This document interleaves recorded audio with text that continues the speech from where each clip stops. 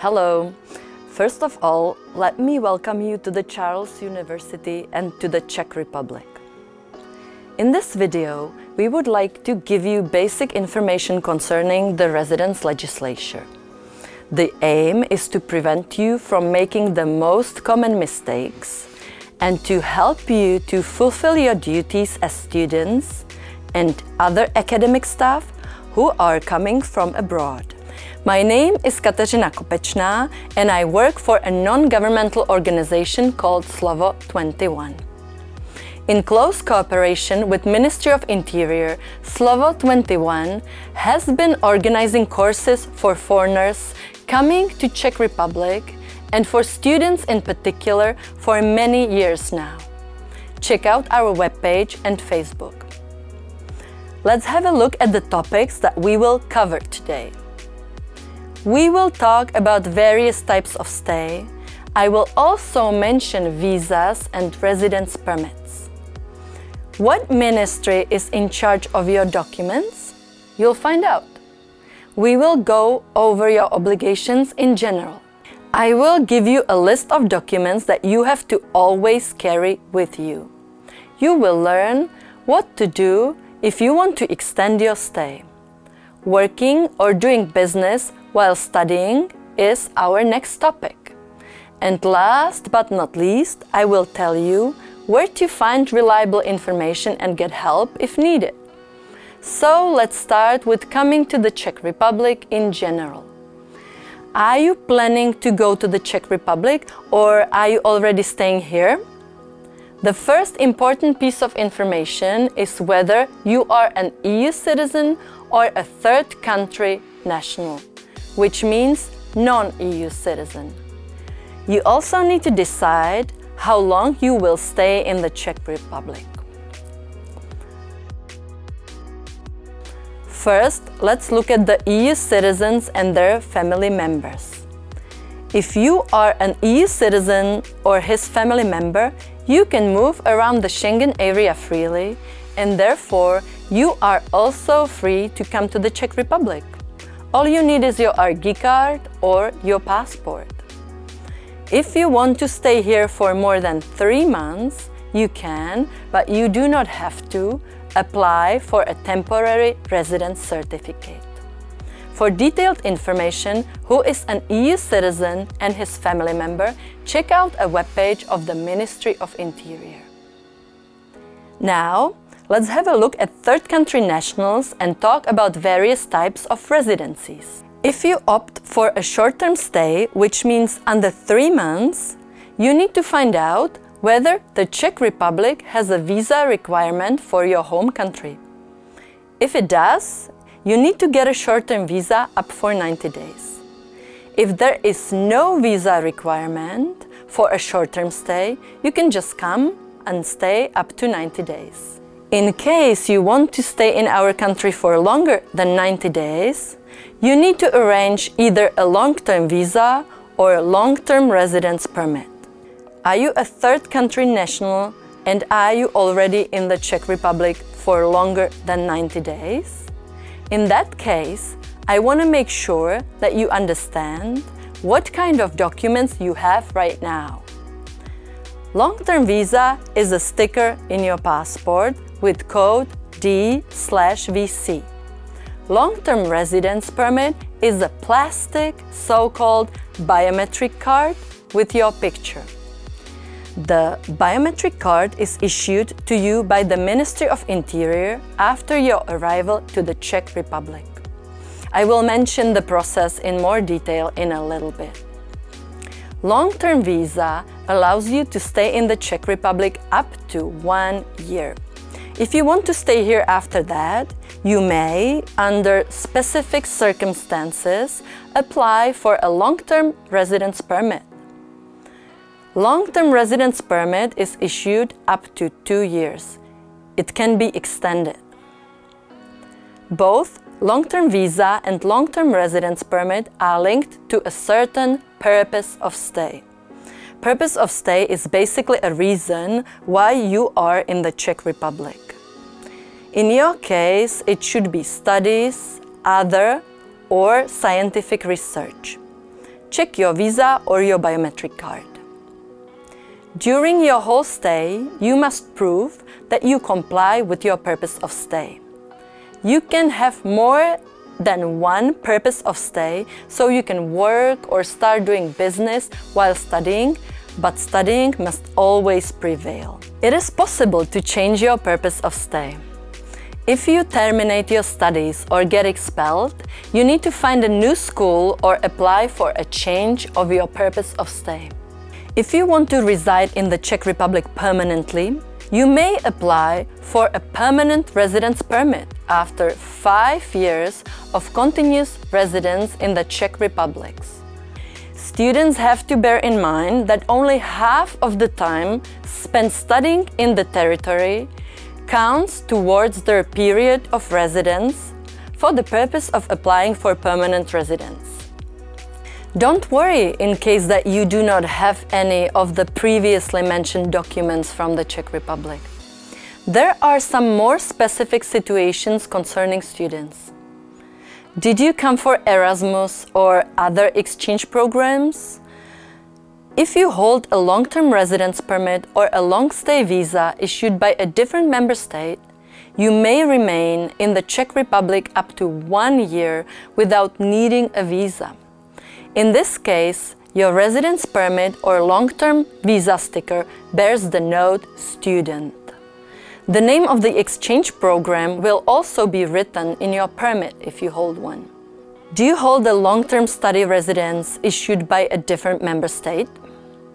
You can apply for a long-term residence for the purpose of study in the Czech Republic.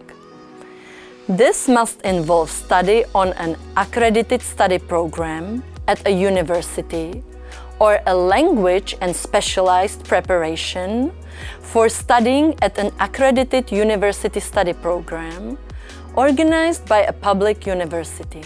What ministry is in charge of your documents? It is the Ministry of Interior that you go to. In particular, the Department for Asylum and Migration Policy. In Czech, the abbreviation OAMP is used. For detailed information on how to extend your stay and what documents you need to submit, visit official web pages of the Ministry of Interior. Find a quick link that says foreigners. And then click on an English flag to get your information in English. Since you have to submit your application form and all the necessary attachments in person, here are some addresses to the Ministry of Interior offices. There is a special workplace just for students in Prague. Now, let's have a look at your obligations in general. When you first arrive in the Czech Republic, you have to register with the foreign police if it has not been done by the accommodation provider. Both students from non-EU countries as well as students from EU countries have the same obligation. If you live in a dormitory, you should not worry about it the dormitory will take care of this duty for you.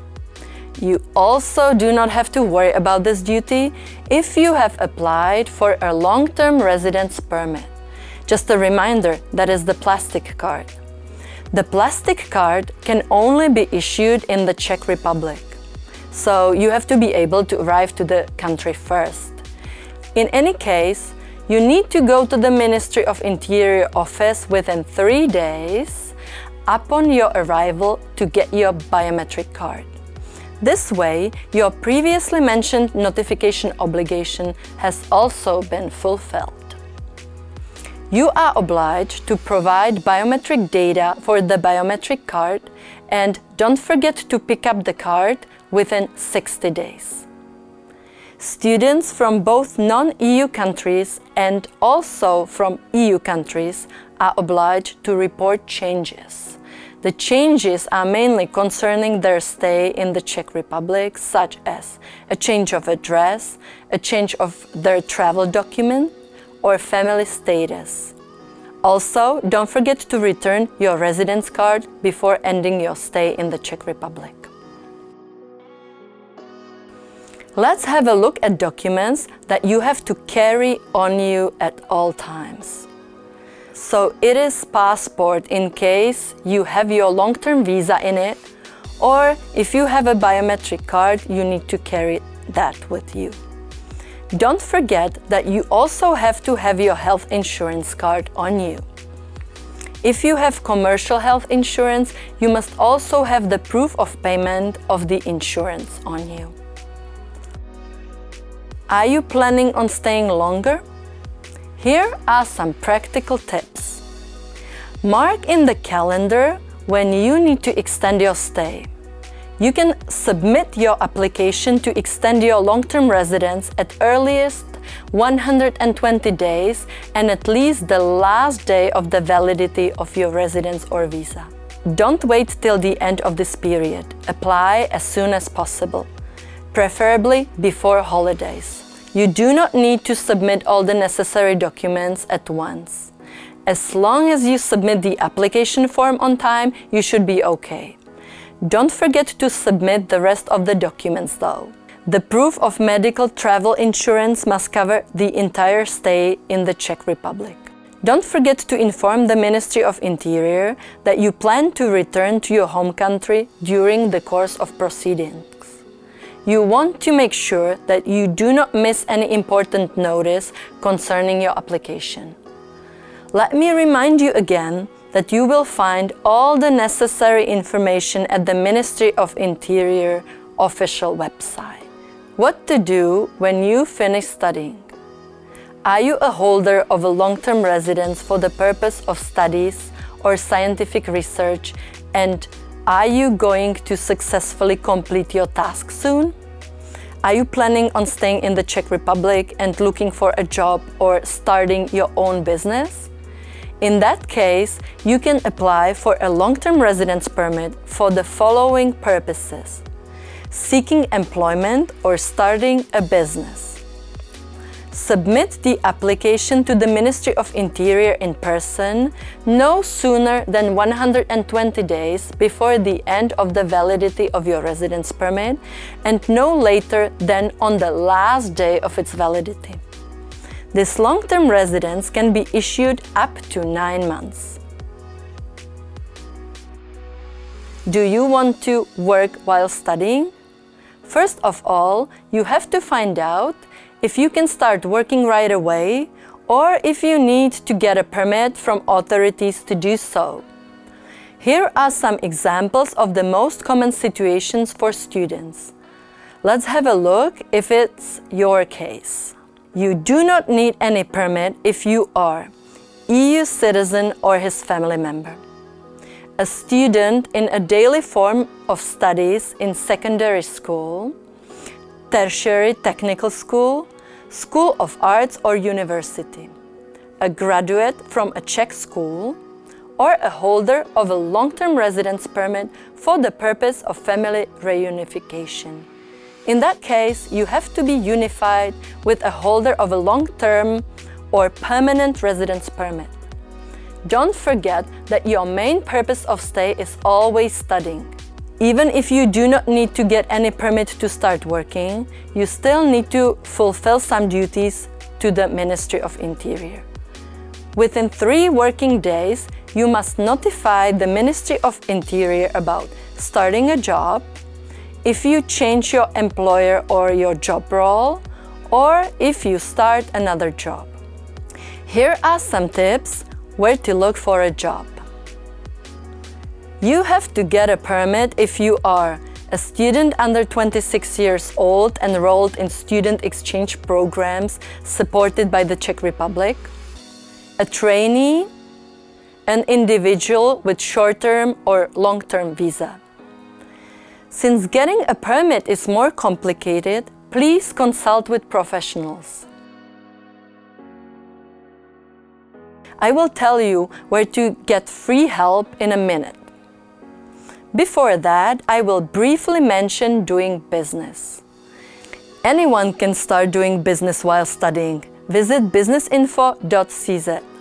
which is an official webpage administered by the Ministry of Industry and Trade, and it contains all the necessary information about how to start doing a business. The webpage is also available in English. And finally, let's talk about where to find reliable information and get help if needed. I have already mentioned the official website of the Ministry of Interior.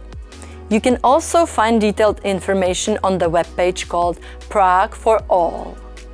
Visit a section I need to arrange where you will find detailed information about visas, permits, work, doing business, healthcare, and more. This general information is useful also for people not located in Prague. Also, check out the app called Prager it contains basic information about life in Prague, important contacts and overview map of institutions. Do you still have questions about your documents or how to extend your stay here? Or do you need help finding a job? In that case, go to the section called For Migrants. You will find contacts on non-governmental organizations where you can get professional legal and social advice which is free of charge. I also recommend visiting the website of integration centers where you can get legal and social counseling. You will find one not only in Prague, but also in Hradec Králové and Pilsen. To conclude, let me welcome you at Charles University again.